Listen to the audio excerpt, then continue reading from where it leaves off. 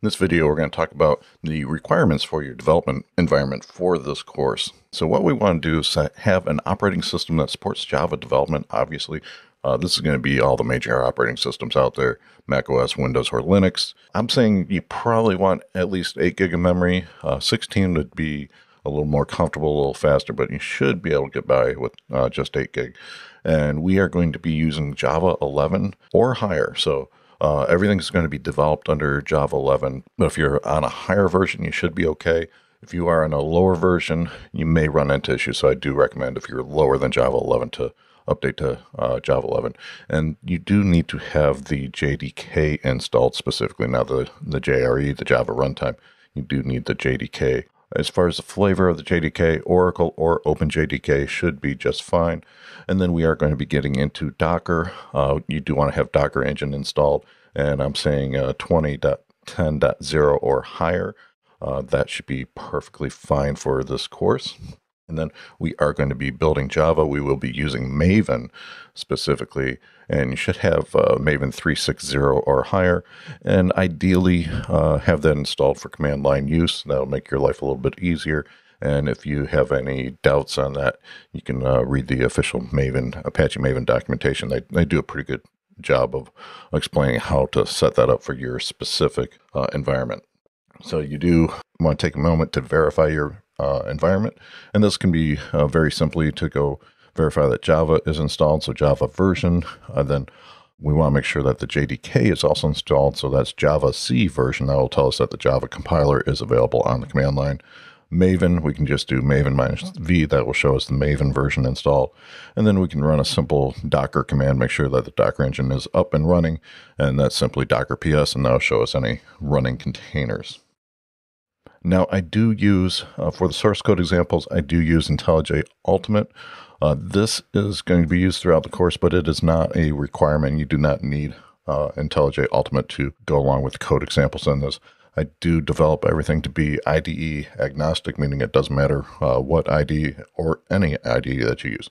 Maven is the build tool. We will have a Maven build file and we'll be able to build the project using Maven. So if you're using uh, STS Eclipse or NetBeans or some other IDE, uh, perfectly fine as long as it supports Maven, you're good to go. And worst case, you can always use Maven from the command line to, to build through the example. So again, IntelliJ Ultimate is not required to complete the course. It's just uh, my preference of the IDE to use.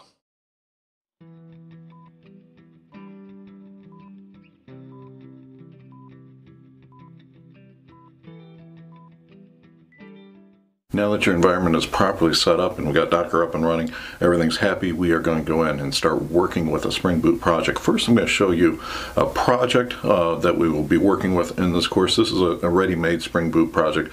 This course is not specifically on Spring Boot, assuming that you are a Spring developer, so we'll go through, got a, a little Spring Boot application that we can work with for the purposes of deploying with Docker. Uh, and then we will start looking at a basic Docker build file as to how we build up that Docker image. And we'll go through the step by step, uh, taking from a, a, Maven project that's producing the good old Spring Boot fat jar, uh, and then getting that into a Docker image and running it inside of Docker. So we will cover that in the step in this course step by step.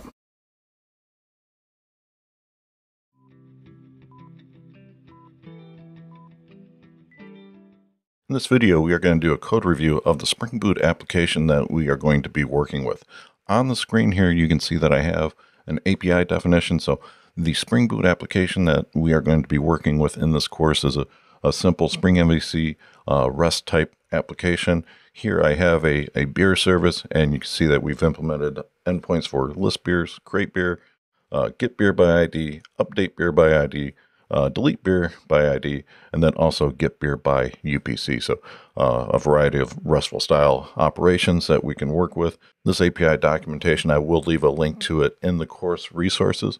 And then the implementation that we are going to be working with in the course is here. It's under KBE REST Brewery. So this is a uh, Spring Boot project that implements that RESTful API, and I will also leave a link to this in the course resources.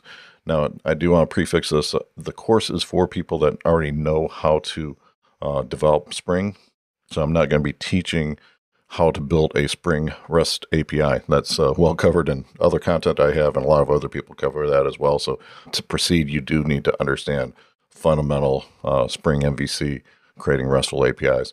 But I do want to go through and do a quick code review to get you oriented to the Spring Boot project that we are going to be working with in the course. I'm going to toggle over to IntelliJ where I have the project uploaded. So here I'm in IntelliJ. This is the uh, checked out project from GitHub, and I want to do just a, a code review on this. So first, let's take a look at the dependencies. So here is the Maven POM. Let me scroll up to the top here. Uh, we are using Spring Boot version 2.4.5. That is the uh, most recent version at the time of recording of Spring Boot. And you can see here in the properties, we are using Java 11. I am using MapStruct and Project Lombok on that. More on those in a little bit. I do want to look, look at the uh, Spring dependencies. We are bringing in Spring Starter for Actuator, Web, that is going to be Web MVC, not Web Flux. Uh, we have the starter for uh, Spring Data JPA, so that's going to bring bring in data or JPA and Hibernate. That's the ORM that we will be using, and then uh, we are explicitly bringing in validation. Uh, there was a recent change to Spring Boot where the starter uh, validation was previously included in uh, web within, I forget the exact version, within the last year or so, that is no longer included. So you do have to uh, bring those in. And if you forget, this is one of those things that might uh, fail silently where the validation is not getting picked up. that can be a, a problem because you forget that and then your validation silently fails to fails to work. Then you can see on line 50 we are bringing in H2. Uh, we will be utilizing the H2 in-memory database dev tools. Can we see Project Lombok, MapStruct, and then uh, our test dependencies. Here, let's go up to the build plugins. We do have the Spring Boot Maven plugin because I am using a, a different version of Lombok than what's being curated. I am excluding that from the Maven plugin, so that doesn't get automatically built in. And here's an important part. If you're not familiar with MapStruct and Project Lombok, you do need to configure Maven like this to add in these annotation processors. I can't remember if the sequence uh, is important, but it's important to have these annotation processors there. I would recommend try keeping the same sequence here because I know this works. If you have a different sequence, I don't know if that that'll work. And then finally on line 115, I want to point out this is a compiler argument, and this is what tells MapStruct to annotate the generated mappers with a Spring component annotation so that those mappers get brought in as Spring Boot components and we can do dependency injection on them. Without that, the project will fail to work properly. So let's come in here. I do want to take a look at the beer loader under Bootstrap. So this is going to be implementing the Spring Boot command line runner what this does, uh, it initializes our H2 memory database with uh, 30 different beer objects. So we, you scroll down, you can see the various beers that I am uh, loading up into the, the database. It just gives us some data. So every time we bring up the application, they get initialized into the database. Speaking of the database, we are using uh, traditional JPA here. I'm not going to be covering JPA specifically, but you can go through, we can see that we are using Project Lombok annotations uh, for data. Also, the builder pattern is being implemented, as well as a variety of JPA annotations for the UID and whatnot. Uh, this is the what's getting persisted to the database. Now we do have here, we are using a DTO model, so I do have uh, MapStruct mappers defined to convert from the database entity to a DTO. So the DTOs are kept under the model directly and all that works pretty pretty well. Uh, coming from the, the ground up, we are using Spring Data, Spring Data JPA re- repositories. We are following the repository pattern, so we do have a repository defined that is utilized in our services. So we do have an interface that we are coding to that does the basic uh, CRUD operations for us. And then here you can see the actual implementation of the service. Me close down some of these packages real quick. And then finally, we do have a Spring MVC controller. So this is what's going to be handling the web request. That takes in an instance of the beer service to support the CRUD operations. And we can see that we are using uh, basic Spring MVC uh, mapping. So we have request mapping the path, parameters are being set up, all that's being handled by Spring MVC. And then we are following through using our, our service. Our service is going to be handling that. The service takes care of working with the database and then using the MapStruct mappers to uh, convert to and from the web facing DTO objects. So let's go ahead and I'm going to run this application. From IntelliJ, if you're using that, you just come up and uh, say run. Just going to do a stop and rerun there. Sorry, I had it running in the background already. And here you can see the basic initialization. And I do want to point out here you can see that there's a console output saying that we've initialized the database. So at this point, we're running on port 8080. You can see that a couple lines above. Um, the API documentation, we could utilize that uh, to use Postman or something and exercise those uh, CRUD operations against port 8080 on localhost. So we'd have 30 beers loaded into the H2 in-memory database, and then those RESTful APIs are now exposed and working. And if you want to take a moment on your own and go through and utilize a tool like Postman or curl to exercise the API just to see that, see those working to prove that it does work at this point, uh, go ahead. I encourage you to do so, but I'm not going to be covering that specifically in the course. You should be able to start the application at this point. What this will do is tell you that you checked it out, you have your environment set up properly, it is building, and it is coming up and functioning properly.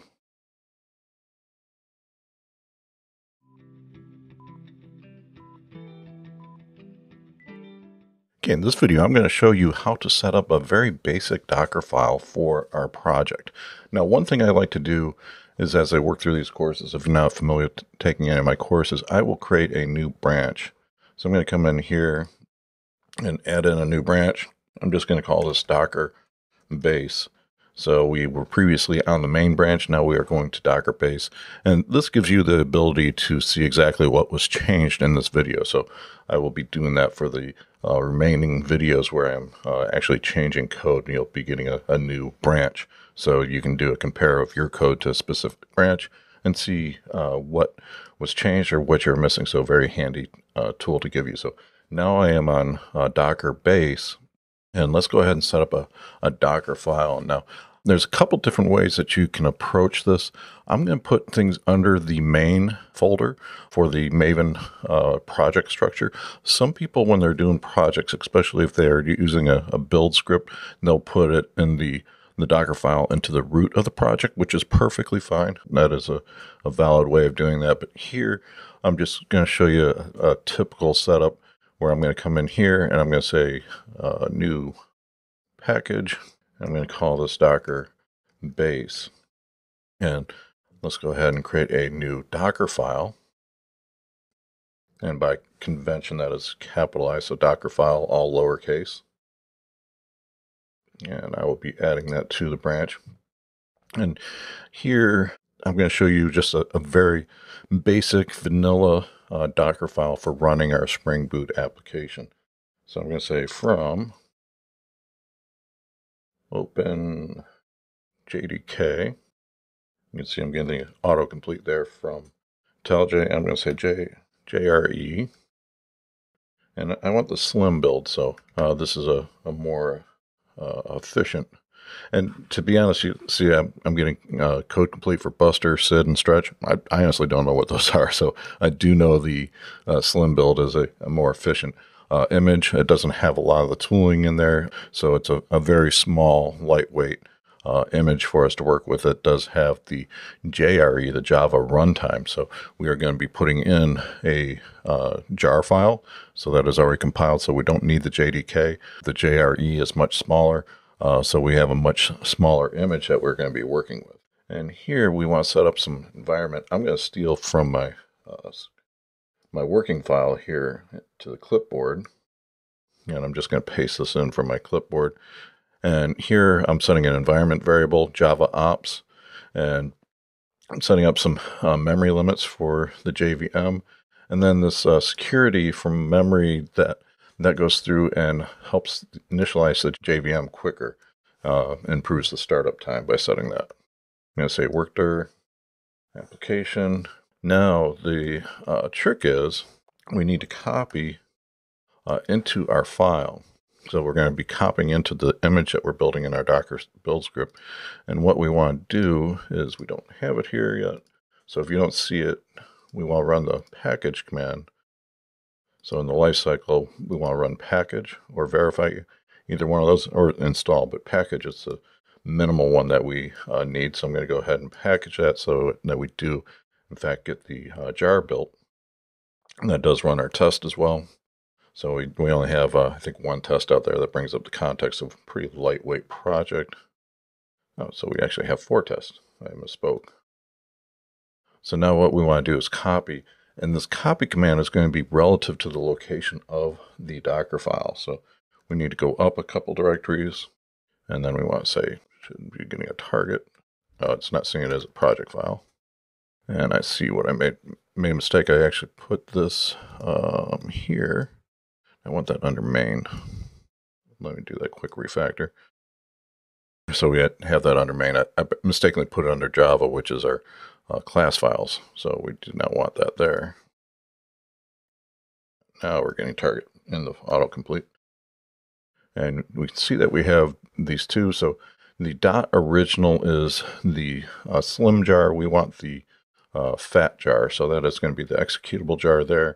So we'll go ahead and take that.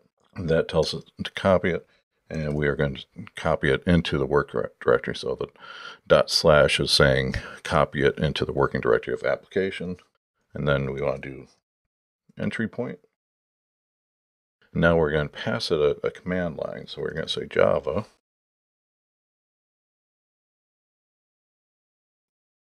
And here we want to give it the name of the jar. So uh, this is a little lengthy and easy to mistype, so I'm going to copy that to the clipboard and we'll paste that in. So this is a, a very minimal uh, Docker file for running the Spring Boot application. So at the top, we are saying the Docker image that we want to pull from, the JRE Slim. We are setting environment variable for Java Ops. We're just setting some memory limits and then the security that helps with our application startup time. We are telling it the working directory called application. We are copying from our local uh, file system. So we are doing a relative path there uh, to target to the generated jar file. We are copying that into our Docker image, and then we are setting the entry point, and this is the command that is going to be running on startup. So this is uh, the Docker file. In the next video, I'll show you how we can run this from the command line.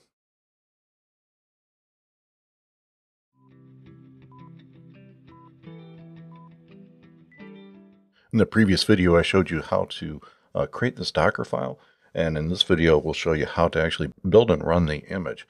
Now, I'm going to be staying on the same branch here. You can see uh, down on the bottom of the IDE, I'm still on the GitHub branch of Docker base. I'm only, going to be doing demonstration here of the runtime application. And I'll be running this right from uh, IntelliJ. IntelliJ does have a terminal that you can bring up. And let me clear that message. And here you can see that I am uh, in the root of the uh, project.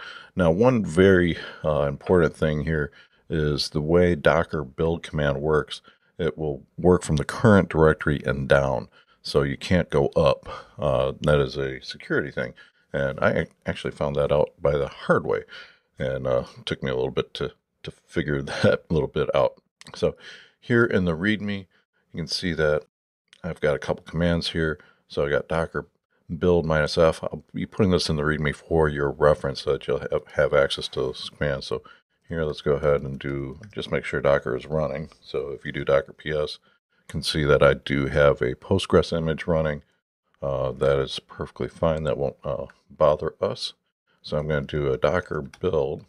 Now for this to work, uh, you can see that I have my target directory exploded and that the jar is there. So you do need to run Maven package before running this. Otherwise, it, it will not work. So I'm going to docker build minus f, and I'm going to say from here, go, source, main, and I'm just hitting the, the tab key for the autocomplete. You can see the Docker file. Uh, so that minus F tells the file that we want to build. And because I'm running from the root of the project, I will be able to access that because you can see in the Docker file, remember I'm, I have that relative path. So I'm running from this point in the file system, so this will be able to traverse down and copy that file in. So if I ran from the Docker base folder, this would not be happy. So um, important aspect there. So that's setting the file. And then I want to do minus T. I'm going to give this a, a tag, wrong window. And here I am going to do KBE rest, like so. Go ahead and tag that. And Docker build. And I see my mistake. I forgot to say current directory there at the end. So now we can see that we went out and we uh, built it. It actually built fairly quick. And the first time you run it, I've already built a couple times. So the OpenJDK, that image is already there. So uh, it's pretty lightweight for this to uh, go ahead and build. So we're saying from, I didn't have to download that from the internet. The actual copy and stuff that went uh, fairly quick. Now let's go ahead and run that. You can see I, I set up the second man here for running it. Let me clear the screen. I can say docker run. And I'm just going to say minus p. Uh, 80, 80, that's going to map 80, 80 to the local host. And we'll do KBE rest. And I'm not going to use the minus D flag. I put, put the minus D flag there in the command because I, I want to go ahead and observe the, the startup log. So I'm just going to be starting this up. And we'll go ahead. You can see that uh, I'm monitoring the logs and that is now coming up. We can see that we have the, the normal Spring Boot startup. So now this application is up and running inside of a Docker context and a, a Docker image and is running locally on my host. Uh, port 8080 was exposed. So if I wanted to uh, curl from a command line or use Postman or something, I would be able to exercise the API at this time. So uh, I'm not going to be demonstrating that in this video. Like we can see that we are up and running and I came up in the console mode interactively here and to shut it down I just do Control C and that will terminate the JVM. It goes away. If I do a Docker PS, you can see that now I have just Postgres running. And if I went to a, a second command line while that was running, the Docker PS would have shown that image up and running.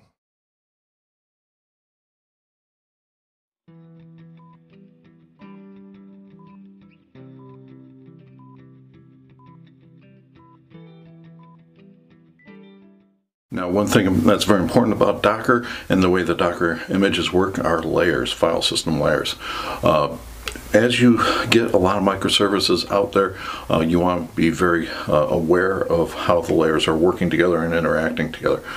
A very nice feature of Spring that was introduced, I think it was in Spring Boot 2.3, if memory serves me correctly, is being able to do a layered approach. So we're going to break that out break out our, our application into layers. So we'll have a layer for all those common dependencies and the stuff that doesn't change very much and then another layer for our application the stuff that does change. The stuff that doesn't change is going to be a, a big amount of data. Stuff that's changing in our application is going to be much smaller. So when we're doing deployments the stuff that doesn't change doesn't get uh, deployed again and again and again here we are going to be much more efficient so I'm going to show you how to use Spring Boot layers, how to configure our Docker build file to go ahead and utilize these layers. So this is a, a really important stuff, especially as, as we start getting into uh, more production environments where we have applications that are being deployed and evolved and deployed again. So we're doing releases of those applications. This is going to make your life a lot easier, at least your DevOps guys, a, a lot easier as uh, you produce, uh, move over to containerized environments.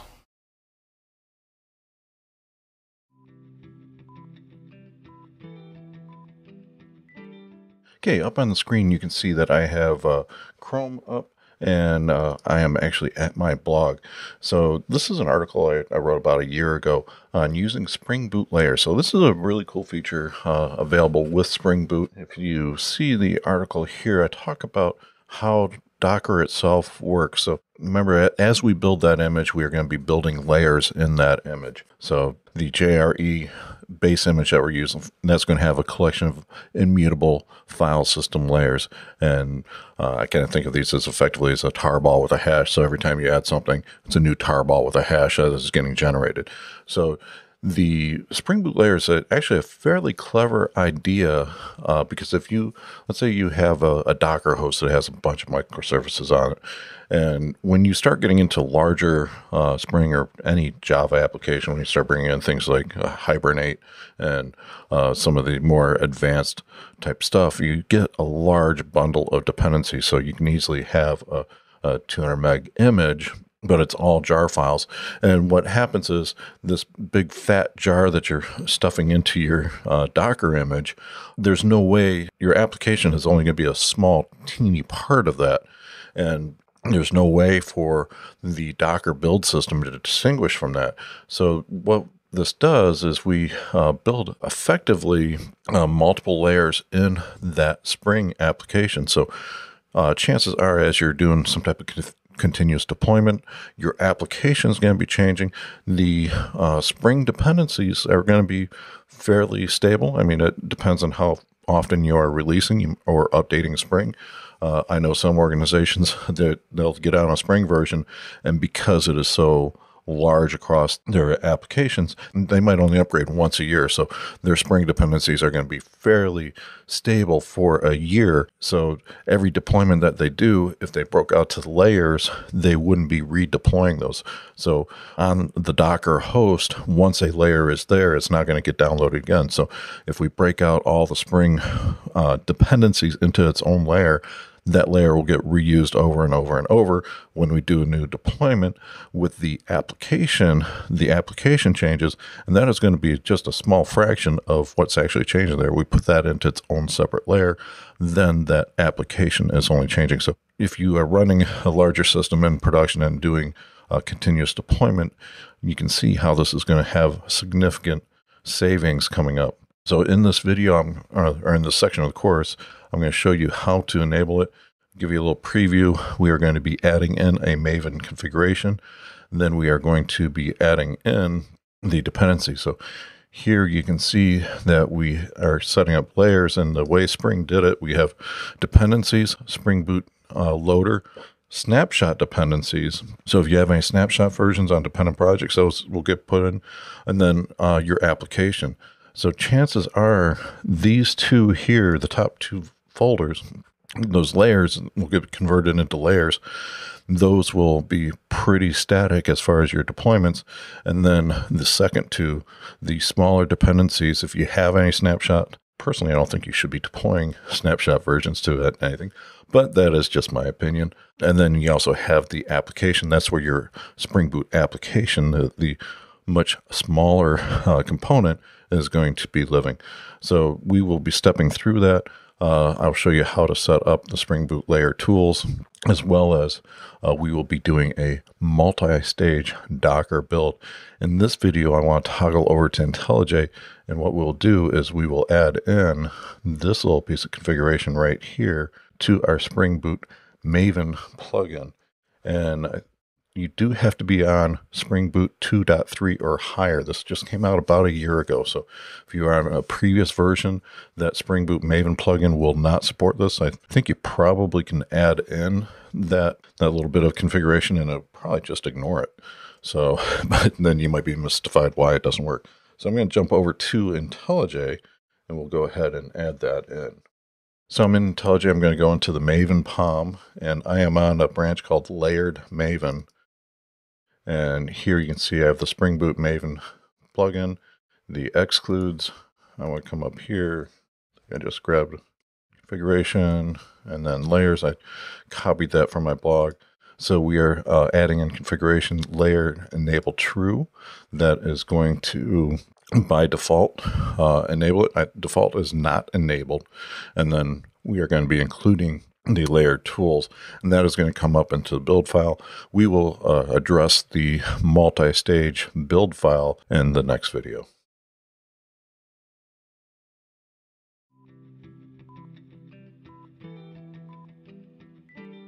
Okay, in this video, we're going to go ahead and configure the Docker file for a layered build. I'm going to collapse that down And uh, what I'm going to do is I'm going to create another folder called Docker. And this will come into play later on in this course where we'll be using a build tool with Maven to build Docker. So I'm just going to make that uh, Docker and we'll come in and add in a Docker file.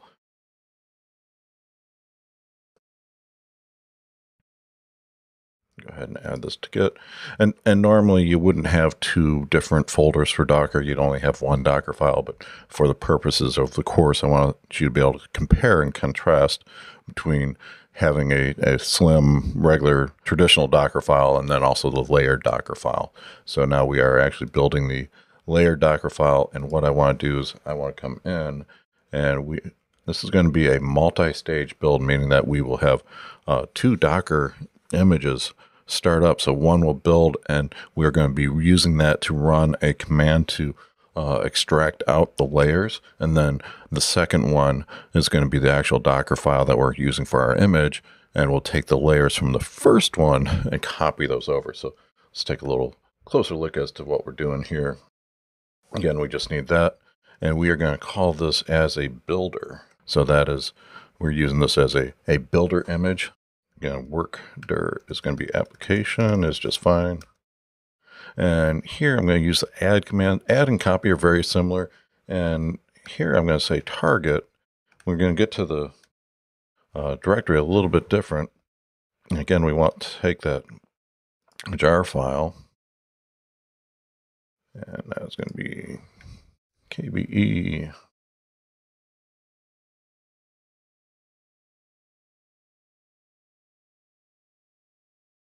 So that is going to add that in.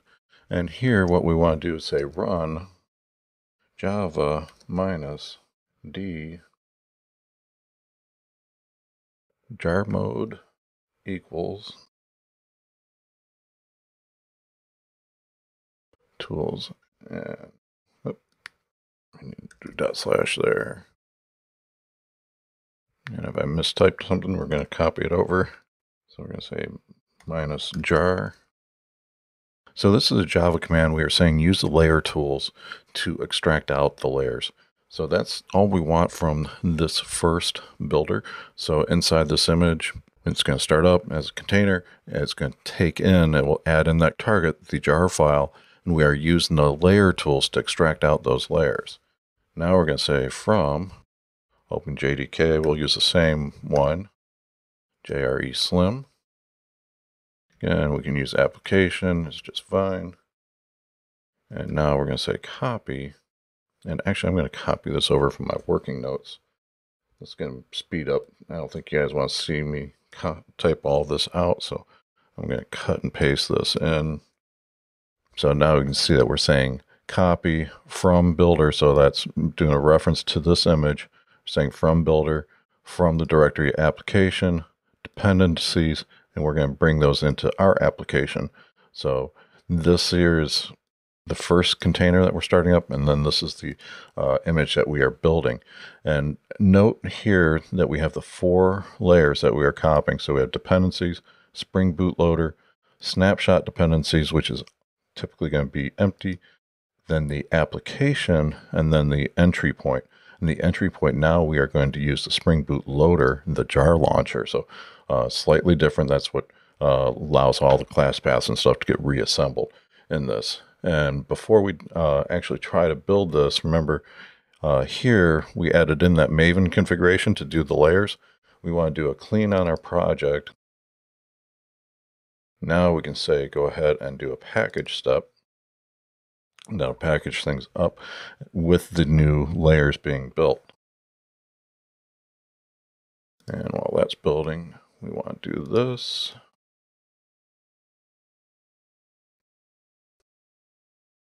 So I'm giving you that Docker command, and now it's not Docker base, it's just going to be Docker. And so it's the same command, so I'm going to copy that command, and we'll take that into terminal. So now, rather than Docker base, we are going Docker, Docker file, and we'll tag that to KBE rest again and see that we did have everything built properly. And you, you can see here that we are doing the uh, multiple stages of the copy and then writing the image. And you can see that's coming up cache. That's because I, I ran it uh, previously in my, my testing. If anything changed, uh, it would have changed there. Uh, just double checking everything. And now, if we do Docker PS, you can see that I still just have Postgres running. Let's do a, a inspect on this. We can do Docker history. And that'll be KBE REST. That is our tag. And here, what you can see, this is a history of that image. These lines down here, that, that is all from the base image. So that is from the uh, JRE image. So you can see that that's got a number of layers. Now we have a worker of application.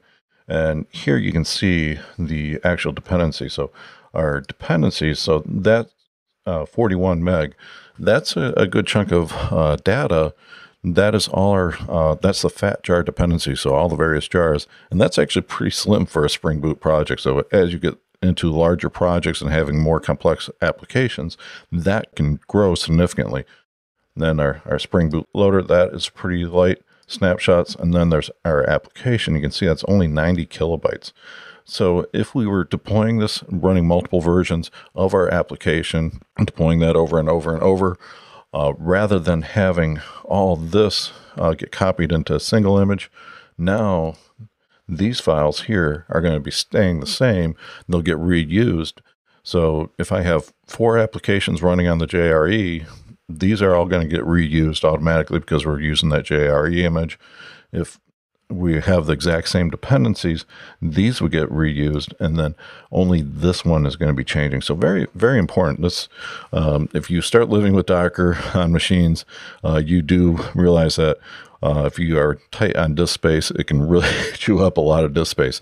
And this is a way to really make your uh, disk utilization by Docker a lot more efficient. So this is going to be a lot more efficient for building and deploying applications in either a test or some type of production deployment environment. So the layers that the Spring Boot team came up with, it's a pretty clever way of saving yourself a lot of disk space and a lot of ongoing maintenance and having to go back and, and clean up the old layers that you may have on your system.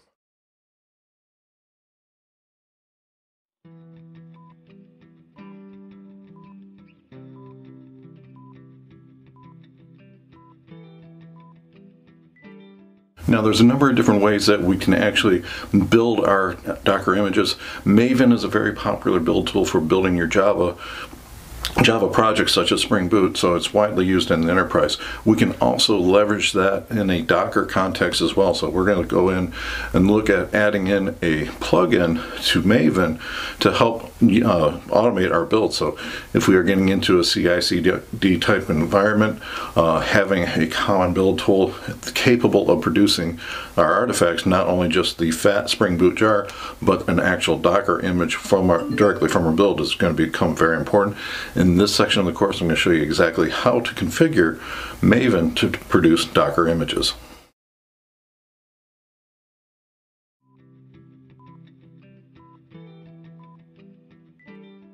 So when it comes to working with Docker and building images from within a Docker context, you do have a, a, number of different options. One very popular plugin for a long time was the Fabric 8 Maven plugin.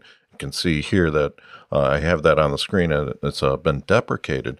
And that just happened about six months ago. So I'm recording in uh, May of 2021. So th- this is a fairly recent change at the time of recording that this was uh, deprecated. Fabric8 was a, a, really cool project, but that project uh, is, is no more. And so that plugin has been deprecated. It's been picked up by uh, by Eclipse, and it, it is now called JKube. So JKube is a, a very, very robust plugin. It was uh, basically a branch of the Fabric8 Maven plugin. This is where all the active development is happening. JKube uh, works with not only Docker, but Kubernetes and OpenShift. It has a lot of very robust features. And I'm going to not use this one right now. Everything is very, very similar, but I'm going to be using a different Fabric8 plugin called the Docker Maven plugin. And uh, there's very easy to get confused as to which uh, Fabric 8 Maven plugin we're talking about, the Docker Maven plugin. This, at the time of recording, is still active. It's still in the Fabric 8 repository. You can see here Fabric 8.io, Docker Maven plugin. We're still getting commits. There was just a, a release done uh, just a month or so ago, uh, so on April 4th. This is still active.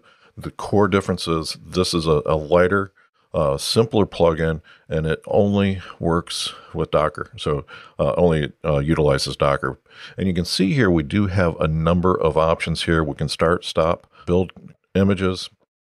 And you can see a, a number of things here. We can even watch uh, for changes and automatically rebuild them. So there's a, a, lot that we can do here. If you needed to run integration tests, bring up a container uh, for an integration test, uh, you could utilize this plugin. We are not going to be covering uh, all the features here. We're primarily going to be looking at uh, two pieces of this uh, to build images. We want to be able to automate our build process using Maven and then push those images up to Docker. But I did want to take a moment, uh, talk about this plugin, the capabilities of it. It does give you very nice integration between Maven and Docker. So we are interested in building Docker images. And what I'm going to do now is uh, I'm going to toggle over to IntelliJ and show you how to start configuring this plugin for use in, in our project. So let me jump over to IntelliJ. And the first thing we want to do is come in and uh, configure the plugin. So I'm going to put it in right here. So we want to do plugin, group ID. This is going to be IO Fabric 8. And it brought in the wrong one. So we actually want the Docker Maven plugin. And I'm going to go with 0341. I think that is the current release. Let me double check that. I'm going to toggle over to Chrome real quick. It's actually 35, so we'll update this to 35. We get the very latest there. You can see that is uh, red because I do not have that locally. So uh, when I do a, a build action, this will be brought in. So I go ahead and I'm going to click on refresh to tell IntelliJ, and you can see that we're downloading that. Now I want to add in some configuration for this. The first thing we can do is we can do uh, verbose. This will give us some additional uh, information out to the console.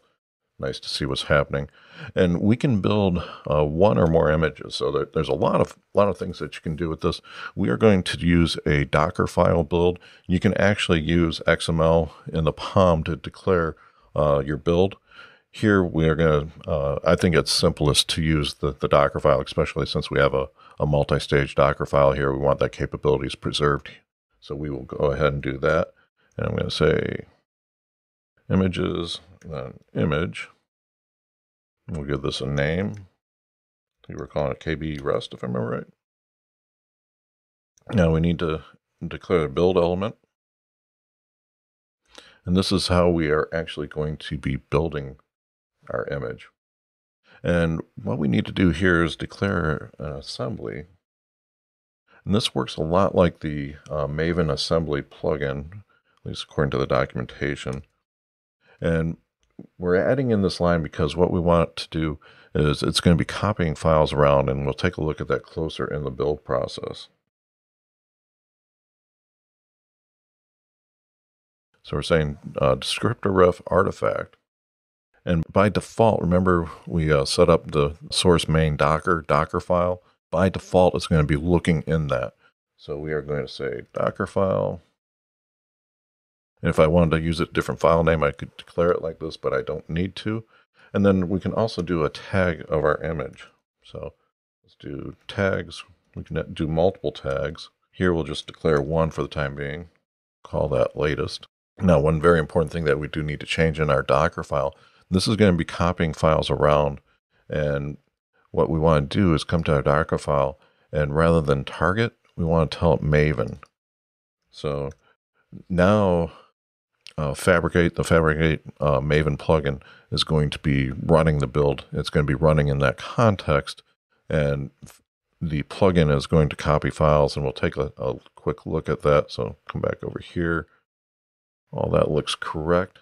I'm going to do a refresh here, make sure that we can see that. I'm going to uh, disable our tests right now, and we'll go ahead and do a clean. That deletes the target directory. We'll do a package. Let me resize some of these. You can see that our target directory is back. And typical build, this is the jar that we want to be including. So now I'm going to come over here under plugins. We can see Docker. And if I was running this from the command line, it'd be simply maven docker build. So I'm going to do the uh, docker build. And the way this is working, I'm doing it in sequence. If we were running from a command line and we didn't have the target directory created, we'd have to do uh, maven package docker colon build. So, but right now we've already done the package step. I'm going to go ahead and run the build step. You can see that the build did go and complete successfully. And let's take a closer look here. So now we see under target, we have a Docker, KB REST, the name of our name of our image. And then you can see here under build Maven, and that, that's why we had to set that there. So here we're running in this context. So now we need to tell it's going to be running in the context of the build folder. That's where the, the Docker builder is going to be executing from. So that's why we need to change that uh, Maven because now our Docker file is now building from that location. So very important. So just to recap what we covered in this video, this is the specifically the Fabric8 Docker Maven plugin that we added, and IntelliJ hasn't picked that up yet, but I'll go ahead and uh, correct that between the videos. And here the configuration. I did add in verbose to give us a little more uh, chatter in the log so we can see the build steps happening. Otherwise, without the verbose, uh, we wouldn't see the image being built like that. Uh, we are giving the image a name of KBE REST. Uh, basically, this assembly structure here, it tells the plugin to copy this uh, Maven artifact over. So it says, hey, copy that into the uh, build directory for us. We are specifying the Docker file to use. And by default, the plugin is going to be looking at source main Docker. And we're just saying the Docker file there. And we are applying one tag to the image that we're building of latest. And that, that will uh, get tagged. You can see right here in the uh, log output tag with latest. And if we wanted to specify multiple tags, we could do also do so here.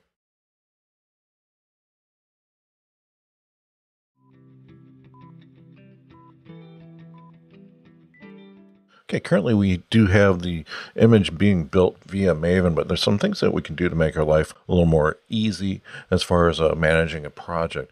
And right now, if we take a look at the uh, Docker file, we are utilizing the name of the artifact. So if we do a release, we change that uh, version, what's going to have, have to happen is we are going to have to go in and update this. So if we did uh, a release to uh, 01 or 02, uh, we'd have to go in and edit this file manually and not uh, something that we actually want to do. So what we can do is we can utilize Maven properties to control this. And rather than having the string here, we can uh, have it replaced with a Maven property at runtime. So I come in here like so, and I do dollar sign squiggly like that. Now I can say project build final name. And this is a, a Maven property that's available at runtime. This is the name of the jar. So when we run this, if we change the version, that is going to get changed. So I can just take that and copy him right to here, like so. So that takes care of our, our build file. So there's a couple other things that we can uh, utilize this with uh, also. So let's come back to our Maven configuration here in the POM. And one thing that we're doing here is we're setting it up as KB REST. And a different convention that I like to use. So remember the uh, image coordinates, if we're pushing up to Docker Hub, are going to be our name. So in my case, I have a Docker Hub account called Spring Framework Guru. And then I want to give it a name.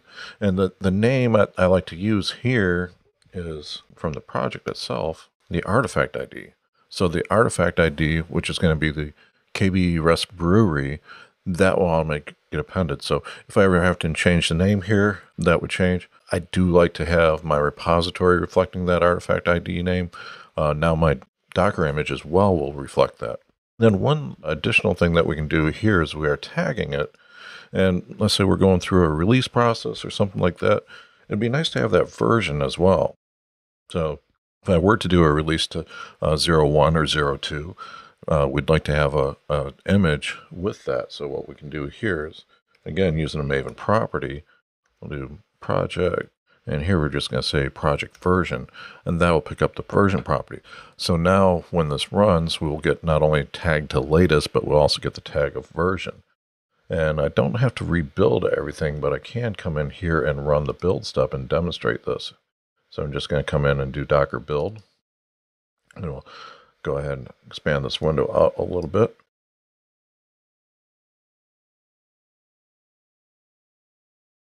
So we can see that the, the build did go through successfully and everything worked properly. Uh, you can see here, uh, this line here, the property was uh, properly applied at runtime, so that got replaced at runtime. So rather than having that property string, it did in fact uh, work properly the, the way we expect it to. So now if I change versions and doing a release or something like that, that will automatically happen. And then here we can see also in the log output that we have the tag of latest and also the 001 dash snapshot. So now we have that image with uh, both tag of latest and snapshot. If I were to do a release, the tagged images will still be up in Docker Hub. The latest would get replaced and then the 02 would be there, but 01 would still also be there. So this is a, a, really handy way to version your images as you are doing releases with your Java projects. So let me minimize this and just recap exactly what I changed here.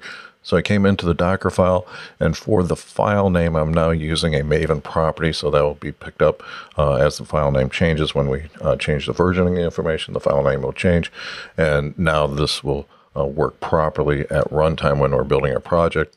And then also in the POM, I changed the name of it. So I'm now adding in my Docker Hub directory, as well as the, I'm utilizing the artifact ID for the name.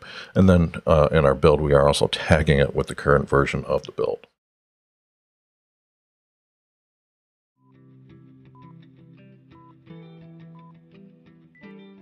Okay, in this video we are going to be pushing images up to Docker Hub. So you can see I have Docker Hub up on the screen here. If you want to follow along, you are going to need your own uh, Docker Hub account. They're free. Uh, it's free to register, free to use. So uh, if you want to follow along, obviously you're going to need your own because I'm not going to be sharing my credentials with the world here. So you can see here I have a, a number of uh, different images that are already up there. Uh, in this case, we are going to be pushing this up there for the first time. Once you have your credentials, we do need to do a configuration step for the uh, Maven plugin to pick things up. So here I have the plugin documentation some from uh, Fabric 8, and we can see here that there are six different ways of defining the, the uh, credentials. So you can do system properties, uh, Docker username and password, registry username and password, you can do an auth config section in the plugin. Not too thrilled on that one because uh, right on the, the POM file you'd have credentials, so that's probably not a very good idea. You can use OpenShift configuration. A very common one is uh, using the server tag in your uh, Maven under your home directory .m2 settings, uh, set up a server. So server with Docker Hub and then uh, the credentials. So that's a pretty straightforward way of doing that. And then finally, you can do a registry. You can see here a credentials helper under a hidden folder in your called Docker config JSON. That one I have not seen used, but I'm sure it is is used out there. So to follow along with this video, you will need to do both have a Docker Hub account and use one of these methods to uh, set up the credentials. Once you do that, have that, you will be able to authenticate with Docker Hub and you'll be able, able to push. So with that said, I'm going to come over to the command line now, or at least IntelliJ. And in IntelliJ, we do have the ability to bring up a terminal, which I'm going to do now. And what we can do here is say maven docker build docker push. So actually, if I was running this for the first time, if I wanted to run everything all together, I could do clean package Docker build, Docker push. So that's going to run all those together. So uh, let's go ahead and run that. And this is going to clean the project, uh, rebuild it, run our, our couple tests there. You can see the Spring Boot di- dialog coming up. And in a second here, we'll get into the uh, build phase. You can see here we are building the uh, image. And here, this is actually the push up to the registry. So you can see Docker push. It is pushing up the various file layers that we created.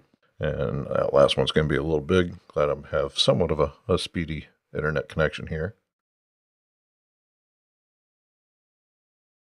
And you can see here, uh, we have uh, set everything thing up. So it has pushed up to Docker Hub now.